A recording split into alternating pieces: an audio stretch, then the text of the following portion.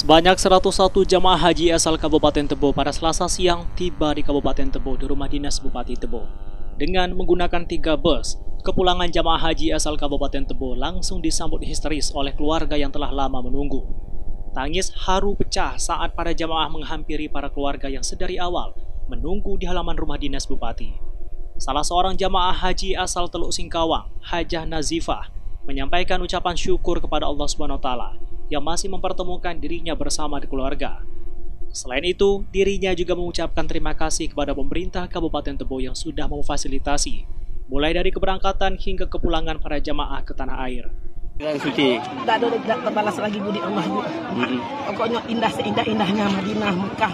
Semuanya seindah-indahnya. Ya Allah, hanya semoga kami menjadi haji mabrur, semoga anak-anak diangkat menjadi pergi haji lagi. Tidak ada balasan. Seindah-indahnya nasi disediakan dengan indah, tempat disediakan dengan indah. Apa Madinah, Mina, Arafah, Melotar, Mekah semuanya seindah-indah tahun ini luar biasa.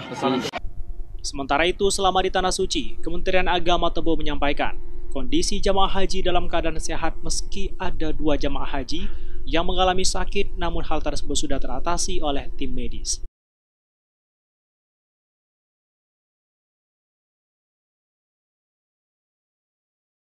Dari Tebo, Mufli HS, Bungo TV.